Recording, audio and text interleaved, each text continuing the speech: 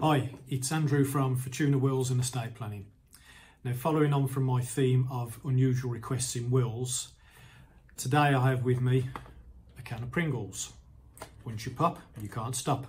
And the reason for this is that I want to tell you about um, a guy by the name of Frederick Baur Jr., who was not only a renowned chemist specialising in food, food storage research and development at uh, Procter & Gamble in Cincinnati, but also an inventor now, Fred invented the famous can and applied for its patent in 1966.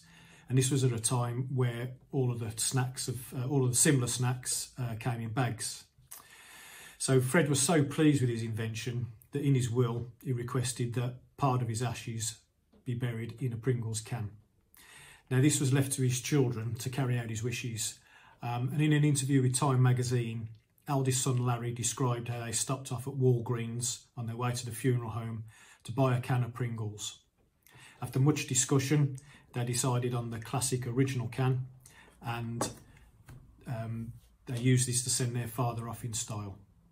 Fred's ashes are buried alongside his wife Elaine at Arlington Memorial Gardens in Cincinnati. So you might be saying, well, interesting story, Andrew, but what has this got to do with me? Well, what Fred has done is not only helped his children by giving them the gift of his estate, uh, he's also given them the gift of knowing exactly what he wants done with his ashes. So no discussions, apart from which can, no fallouts, no arguments, just clear, concise information for his beneficiaries.